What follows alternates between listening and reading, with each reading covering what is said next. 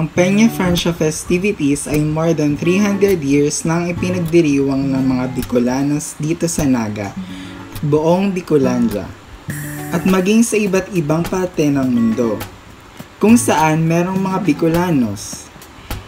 Ito ay ginaganap tuwing September na kung saan ay nagsisimula ito sa isang traslasyon sa kada ikalawang biyernes ng September.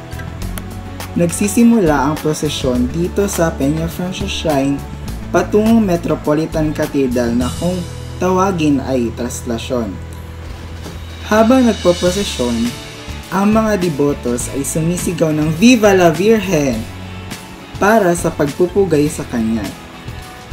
Ang traslasyon ay pagsisimula rin ng 9 days novenaryo. Pag ika-third Saturday ng September, mula sa katedral, dadalihin si Ina at isasakay sa pagoda papunta dito sa Basilica Minore. Ang tawag naman dito ay fluvial procession. Pagdating dito sa Basilica Minore ay magkakaroon ng Santa Misa. Maraming debotos ang pumupunta dito sa Naga upang isagawa ang kanilang panata kay Ina.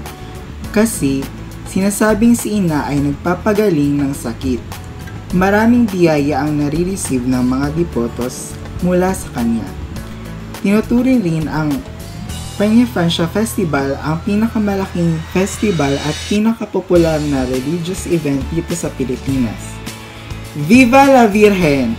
Viva el Divino Rostro!